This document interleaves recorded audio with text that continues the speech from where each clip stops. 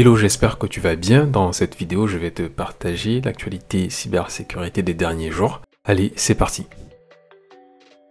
Des cybercriminels ont profité d'une faille dans le composant de messagerie de TikTok pour diffuser des logiciels malveillants leur permettant de prendre le contrôle des comptes de célébrités.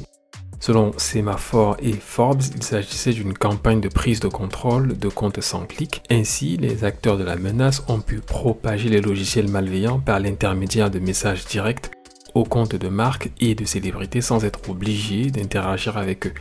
Le nombre d'utilisateurs touchés n'a pas encore été communiqué, mais d'après le porte-parole de TikTok, la plateforme a déjà pris des mesures préventives pour freiner cette attaque et éviter qu'elle ne se reproduise.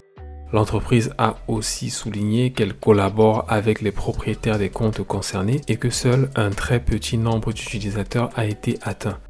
Pour l'instant, les techniques d'atténuation employées par TikTok n'ont pas été fournies. En tout cas, le 7 juin dernier, la célèbre plateforme a confirmé à Axios que la vulnérabilité a été corrigée. Ce n'était pas la première fois que TikTok a été sujet à des problèmes de sécurité. Les États-Unis ont démantelé le plus grand botnet de l'histoire, connu sous le nom de 911 S5, cet immense réseau d'ordinateurs infectés regroupait 19 millions d'appareils, dont 600 000 provenaient des États-Unis. D'après la justice américaine, un large éventail d'infractions ont été commises par les détenteurs de ce réseau zombie. Si on ne parle que des fraudes financières, des cyberattaques, des usurpations d'identité, des harcèlements, des exploitations d'enfants, des violations des règles d'exportation et des alertes à la bombe. Le botnet s'est étendu sur 190 pays et son administrateur principal a été arrêté le 24 mai dernier à Singapour. Il s'agissait du ressortissant chinois Yune Wang, âgé de 35 ans. Ce dernier a été reconnu comme étant le créateur et l'administrateur de ce réseau zombie entre 2014 et juillet 2022. Wang encourt jusqu'à 65 ans de prison s'il est reconnu coupable de tous les chefs d'accusation. Les États-Unis ont réussi ce démantèlement en collaborant avec Singapour, l'Allemagne et la Thaïlande. En parallèle à cette inculpation, l'Office of Foreign Asset Control a aussi imposé des sanctions à Wang, son co-conspirateur Jinping Liu et son mandataire Yanni Zheng. 7000 clés de déchiffrement du ransomware Logbit ont été distribuées par le FBI aux victimes pour les aider à récupérer leurs données gratuitement. Cette organisation américaine invite aussi toutes les personnes ayant été victimes de ce ransomware à se rendre sur son site pour leur venir en aide. Rappelons que sur les 2400 attaques perpétrées par le gant prolifique de ransomware Logbit, pas moins de 2800 ont touché les États-Unis. Au début du mois de février, l'infrastructure en ligne de Logbit a été démantelée par une opération internationale d'application de la loi sous le nom de Chronos. En mai, l'administrateur et le développeur du groupe Dimitri Yurevich Korochev, ressortissant russe de 31 ans, a été identifié par les autorités. Selon les statistiques de Malwarebytes, Logbit a été lié à 28 attaques confirmées au mois d'avril. D'après le rapport VM Ransomware Trend Report 2024, Seuls 57% des données compromises peuvent être récupérées par les organisations qui acceptent de payer la rançon lors d'une attaque par ransomware, ce qui les expose toujours à une perte de données substantielle et entraîne un impact négatif sur leur activité. Avant de te présenter la prochaine actu, n'oublie pas de liker la vidéo si tu aimes ce contenu. Ceci va permettre à YouTube de pousser la vidéo à d'autres personnes afin qu'ils reçoivent cette information. En Ukraine, des hackers se sont servis d'une macro Excel pour déployer Cobalt Strike et contrôler à distance les autres compromis. D'après Fortinet FortiQuad Labs, cela se manifeste par une chaîne d'attaque impliquant un fichier Microsoft Excel porteur d'une macro VBA qui provoque l'infection.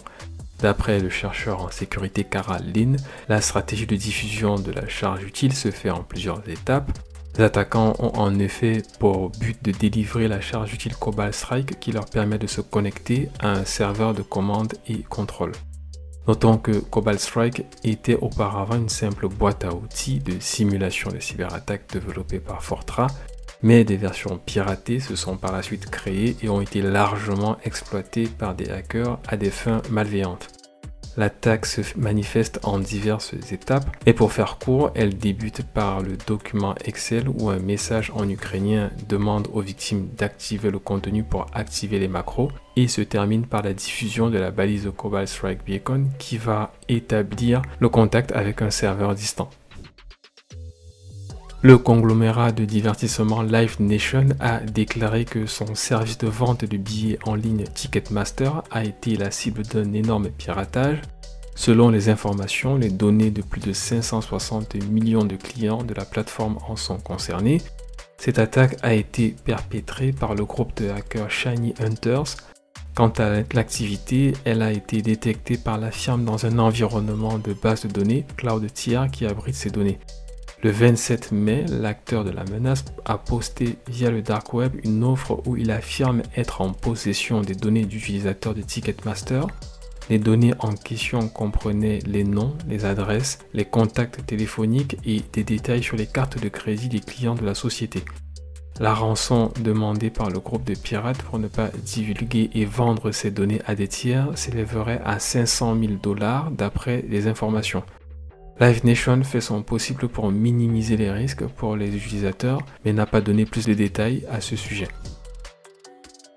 Les députés européens ont adopté le 12 mars dernier la loi sur la Cyber Resilience Act dans le but de garantir la sécurité des systèmes numériques en Europe Appliquée dans les mois à venir, cette loi intervient pour contrer les attaques informatiques qui visent les dispositifs connectés grand public, mais également des particuliers. Tous les secteurs, sans exception, sont visés par la Cyber Resilience Act. Selon le député européen Nicolas Danti, cette loi vise à renforcer, je cite, la cybersécurité des produits connectés en s'attaquant aux vulnérabilités matérielles et logicielles, faisant de l'UE un continent plus sûr et plus résilient. Les produits connectés ne sont autres que les smartphones, les montres connectées, sans oublier également les gestionnaires de mots de passe ou les logiciels de gestion d'identité. De manière plus concrète, ces appareils doivent bénéficier de configurations sécurité et des mises à jour gratuites et les fabricants doivent informer leurs consommateurs sur les éventuelles vulnérabilités de leurs produits. Les exigences de sécurité s'appliquent dès la conception du produit, mais aussi tout au long de sa durée de vie, incluant sa mise à jour. Selon Blipping Computer, des fans du jeu en ligne multijoueur Club Penguin se sont infiltrés dans le serveur Confluence Disney pour voler des informations concernant leur jeu favori. Mais au final, ils ont fini par subtiliser 2,5 gigaoctets de données internes de l'entreprise. Pour rappel, Club Penguin était un jeu qui s'étendait de 2005 à 2018 et dans son monde virtuel, les joueurs pouvaient participer à des jeux et faire des activités tout en interagissant entre eux. Club Penguin s'est officiellement fermé en 2017 et a laissé place à Club Penguin Island qui était géré par des fans et des développeurs indépendants. Une source anonyme a déclaré que les données volées comprennent des stratégies d'entreprise de Disney, des plans publicitaires de l'entreprise, des données sur Disney ⁇ des outils de développement interne ainsi que des projets d'entreprise et de l'infrastructure interne. D'après Blipping Computer, les données incluent également une documentation sur une grande variété d'initiatives et de projets. Les outils de développement interne qui n'ont jamais été divulgués publiquement en font également partie. Il s'agit notamment d'EIOS et de Core.